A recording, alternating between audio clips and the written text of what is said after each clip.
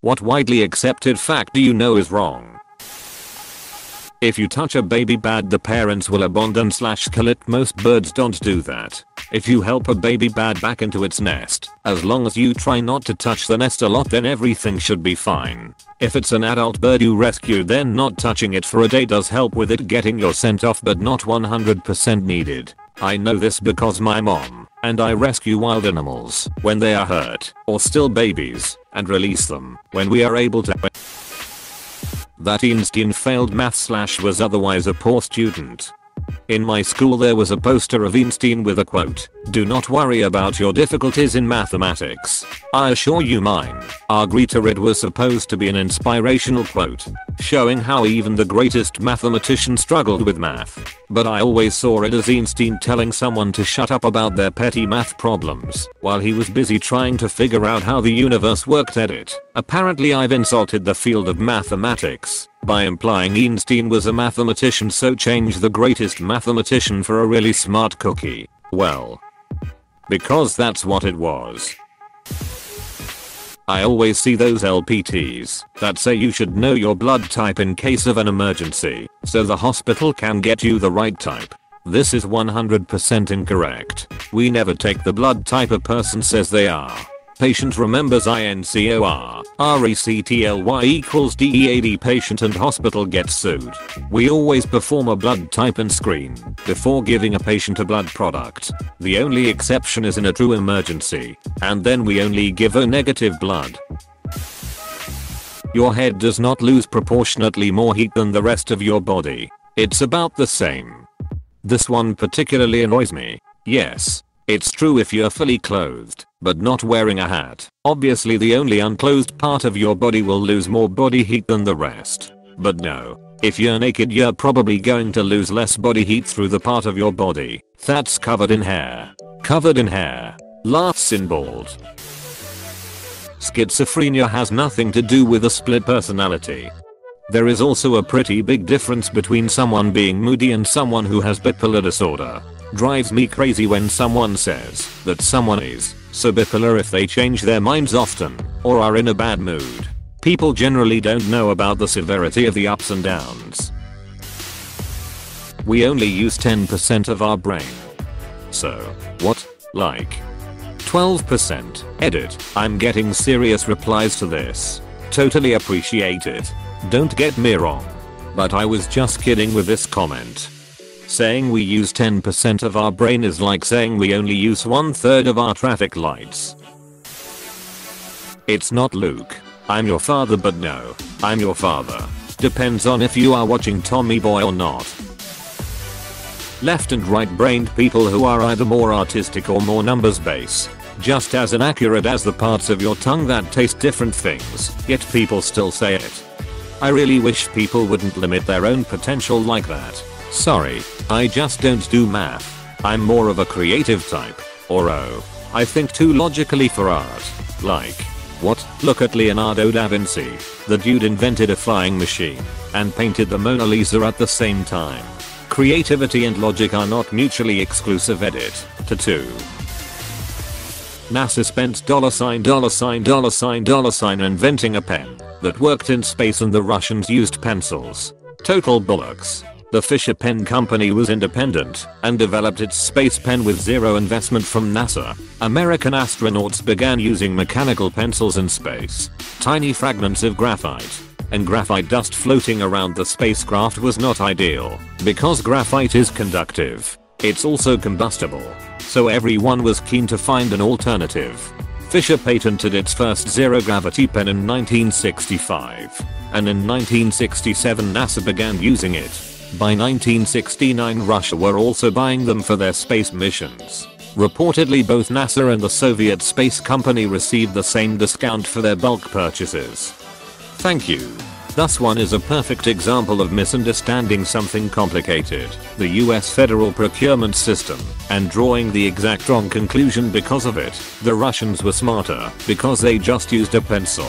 A similar myth is that the dude would deliberately spend $600 on a single hammer. Rather, this was an accounting artifact due to contractors claiming a flat overhead price on a spare parts buy, split up evenly amongst all the spare parts. The cheap parts look ridiculously overpriced. But the expensive stuff, like engines, look ridiculously cheap. And then we ignore the cheap price on engines and focus only on the expensive hammers. Napoleon wasn't small. He was just the victim of good propaganda by the eventual winners. Also his personal guard had a strict height requirement. So he was always around someone taller than him.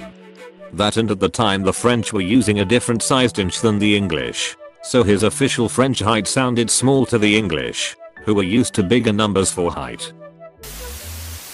Goldfishes really do not have a memory span of 5 seconds. They actually remember things for months, recognize their owners, and are able to distinguish them from other people.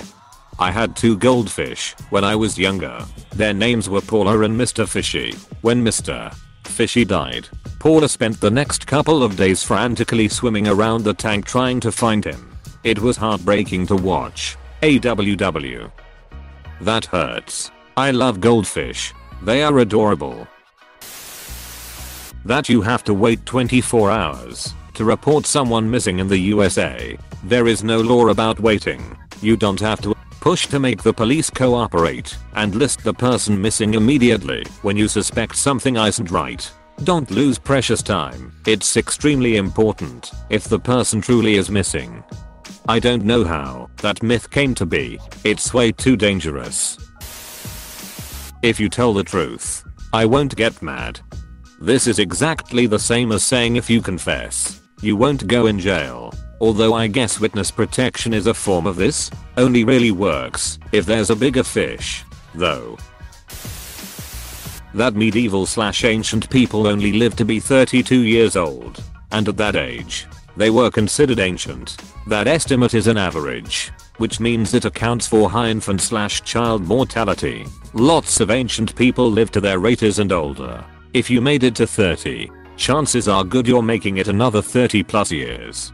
Also that everyone in the middle ages was getting married at 12. Not true. You could have a wedding arranged as an infant, but marriage would generally not happen until late teens. Even then, that's only royalty and nobility. The average serf didn't own land, and therefore never had a legal marriage at all. Peasants would just start cohabitating and making babies. Clarification, I'm talking pre 1300s. Plague happens and people start owning shit SMH. That cracking your knuckles too often will cause arthritis. This thread reads like a spotter's guide to stuff my mum told me when I was young. My mum still says such stuff by reading it off of WhatsApp forwards. That you swallow 8 spiders a year in your sleep. The origins of that myth is so weird. It made its way around message boards in the 90s and possibly earlier. Then at some point, the Snopes Usenet board, free website, claimed that the myth was invented by a tech journalist who wanted to illustrate how lies spread on the internet. Except that Snopes lead, the journalist never existed. So now there's a second layer to the myth that being the myth of who invented it and why. Just know. People definitely expected the Spanish Inquisition. Lies. They gave people a heads up I remember reading somewhere. We are experiencing a temporary high volume of phone calls. Your call is important to us. Listen please listen carefully as our options have recently changed. The first is to make people more likely to wait happily. Second is to try and get them to pay attention to the options, which haven't been changed in 20 years.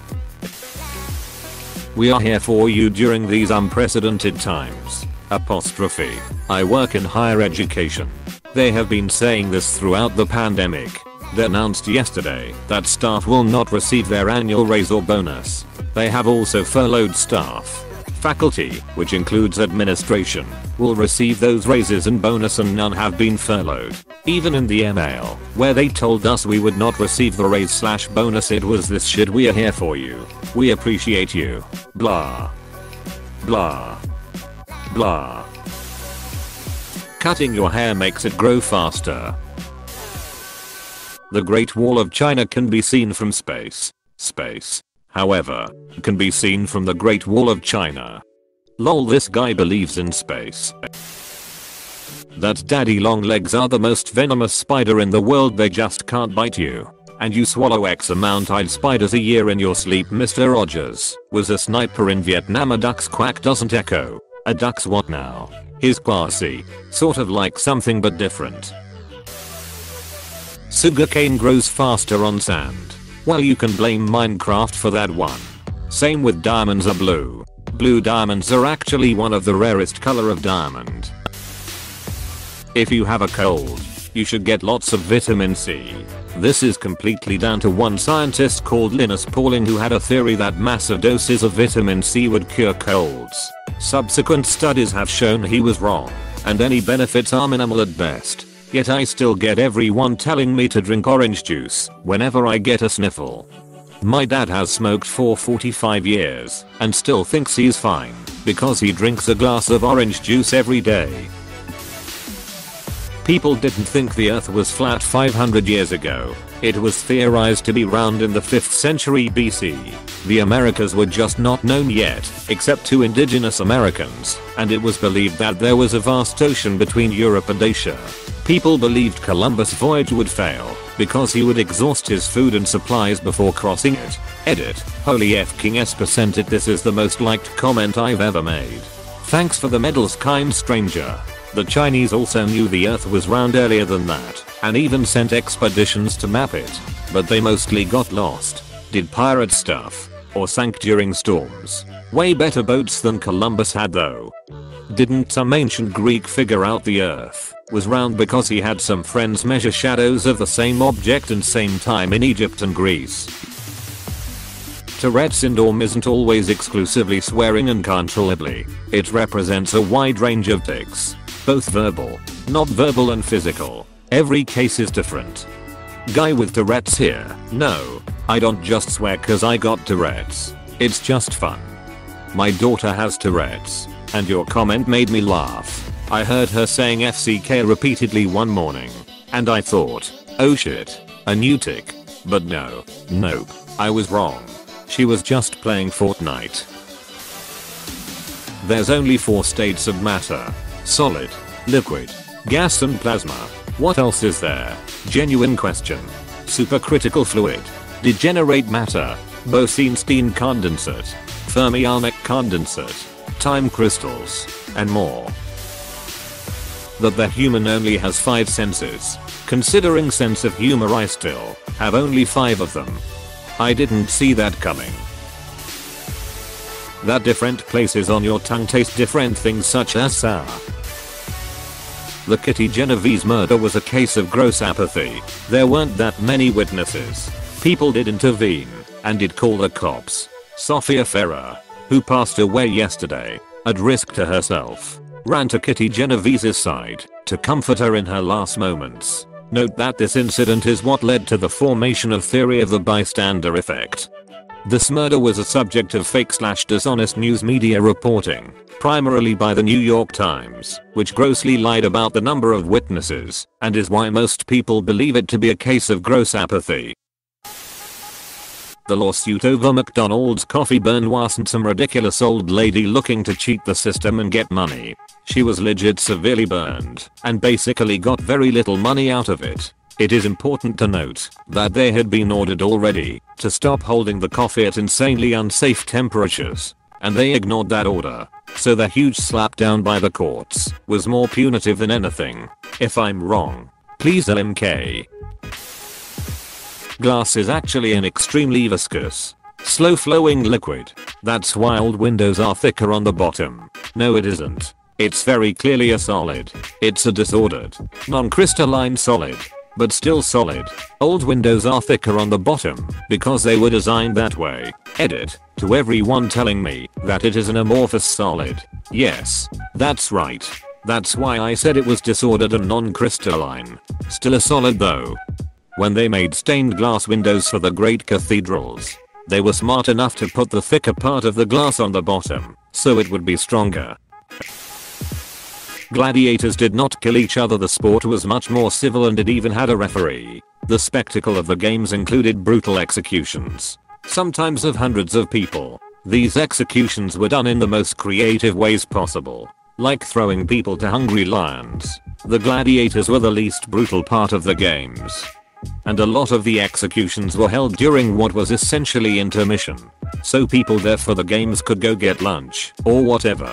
And the people who wanted to see the executions could watch. The road not taken by Robert Frost is not about how the road less traveled is better. It's about how you cannot know how life would have turned out if you had made different choices. So you have to convince yourself that your choice made the difference. He looks down both paths, and while one looks slightly less worn, they were really equal with no tracks on either. But he knew he would never be back to make that same choice again. So he imagines that in the future he will say with a sigh that taking the one less traveled made all the difference. He's just making peace with a choice he cannot change. I saw somewhere on Reddit that he wrote it to mock an indecisive friend of his. Not sure if it was true though. This is true. And the friend was poet Edward Thomas. The poem is ironic and its true theme is actually about not taking yourself so seriously. That carrots help with your eyesight. It was propaganda by the allies in WWII to hide the fact that they had radar. If you don't have enough vitamin A, also called carotene, you can get blind. So it's not completely wrong. Exactly. Vitamin A is very important in proper vision. But it doesn't determine your vision abilities. If you're legally blind or use glasses, vitamin A won't fix it. But it's still necessary you don't really have an allergy to monosodium glutamate. Wait until the Karens know that their bodies also produce MSG. Hey, thanks for watching, and don't forget to subscribe.